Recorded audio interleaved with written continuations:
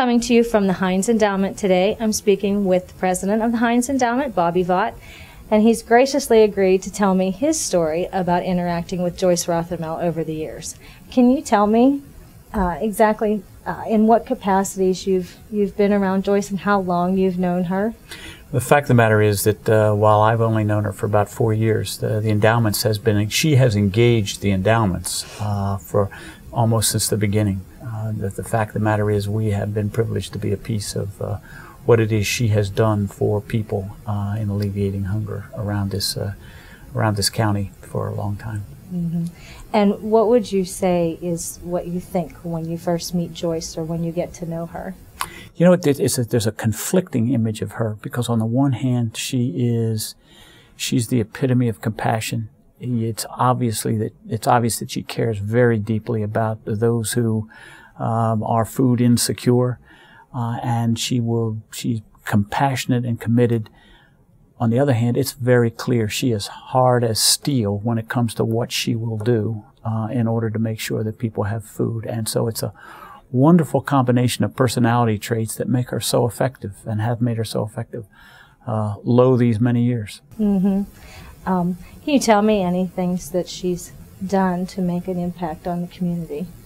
Yeah, I, we don't have enough time, and, and there's not enough uh, not enough digits on that uh, recording machine. But I, I do think there's some things that are are a couple that I'd pick out, and well, one in particular, and that is that while she has been all about providing food for uh, those who are hungry, the, uh, the, the truth of the matter is just food wasn't enough. It's not about somebody's seconds uh, or stuff that is adequate because just adequate has never been her motto.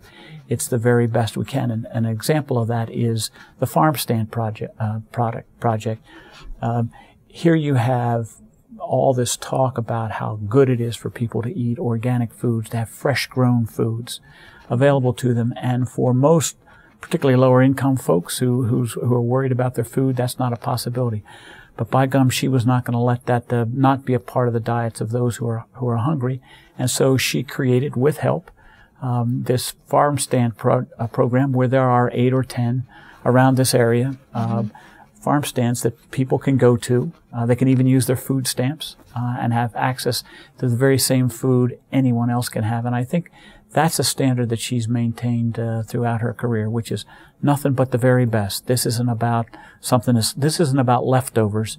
This is about uh, first rate. It is. And we had talked earlier a little bit about some of the new things that, that Joyce has done and created. Um, as part of the, the food bank, and we talked about the new initiative. Can you tell me a little more? Yes, I think um, you know when you th- when you think, and it's hard to think about Joyce leaving, and mm-hmm. you say, "Gee, what is it that would mark her tenure here in a way better than anything else?" It would be to continue something that just started, and that is this effort, led by, spearheaded by her, and what she's done for 30 years, uh, of saying, we can do something substantial about hunger. And so a 12 county area has banded together and said, we're going to reduce uh, hunger by 50%, at least 50%, uh, over the course of the next five years. Uh, a heroic uh, thing for her to do.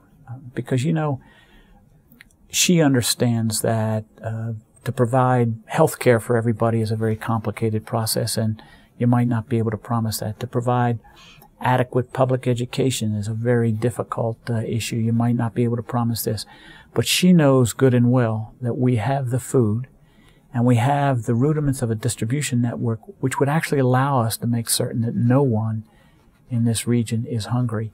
And so I think a great testimony to what she's done so far would be to be able to carry out that vision over the course of the next five years. Yes. Um, do you have any stories that you can share on ways that she's maybe impacted your personal life or professional life or this organization? Well, I, I, know that the Heinz Endowment in and of itself is not a particularly large organization, so I'm not sure this will rank high in uh, relatively speaking.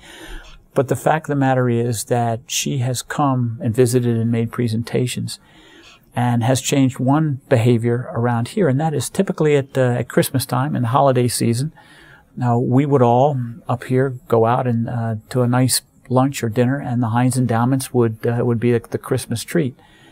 And after um, hearing her at one point, this, the question came up: Why don't we every, have a potluck? Everybody bring uh, something to eat.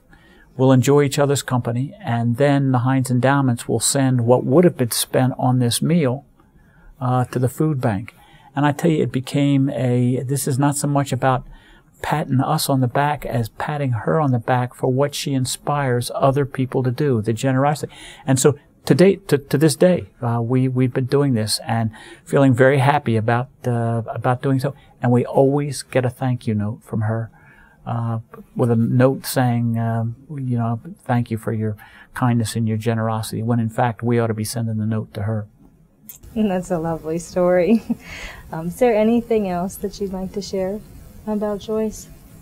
Well, I just I just think that while um, you, we look at her and we think of her as someone who has been committed to uh, helping people who who are hungry, I think we can't ever lose sight of her as an inspirational figure too, because I think she is proof positive that if in fact we are passionate about something and compassionate, uh, we can we can move the mountains because that's exactly what she has done for 30 years.